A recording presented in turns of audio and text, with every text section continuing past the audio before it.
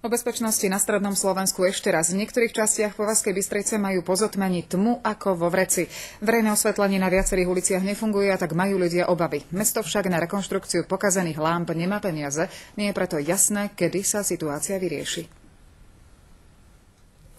Chyba nie je vo vašom príjimači. Po takýchto tmavých uliciach musia niektorí obyvateľia Povazkej Bystrice chodiť domov. Na problém s verejným osvetlením nás mailom upozornil náš divák. Najmä obyvateľia sídlis, ktorí sa večer vracajú domov, tvrdia, že tma na uliciach je pre nich každodennou realitou. To osvetlenie tu, keď by ste si prešli vo večerných hodinách, je veľmi chabé. Mesto by na takéto veci malo mať stále peniaze. A práve peniaze sú podľa vedenia mesta kameňom úrazu. Na opravu osvetlenia vyčlenili na tento rok 88 tisíc eur a hoci priznávajú, že je to málo, viac urobiť nemôžu. Mesto Povazka Bystrica v súčasnosti nemá dostatok finančných prostriedkov pre komplexnú rekonštrukciu verejného osvetlenia. V havarijnom stave nie sú len lampy, ale aj káblové vedenia verejného osvetlenia. Situácia sa oproti minulému roku značne zhoršila. ktorých počet sa v porovnaní s rokom 2009 zvýšil o 50% No je to nepríjemné v tejto dobe.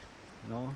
Človek sa obzera, dojde za ním. Hoci kríza zasiahla všetky samozprávy, v Povaskej Bystrici je podľa niektorých poslancov takáto situácia, pretože mesto nevie urobiť poriadok s prevádzkovateľom verejného osvetlenia. Robí nám to v Povazkej Bystrici košická firma a odvtedy sú stále problémy. Riešenie tohto problému je teda zatiaľ v nedohľadne. Vedenie mesta tvrdí, že ak by aj presunulo peniaze na tento účel, chýbali by pri iných službách či projektoch. Katarína Naďová,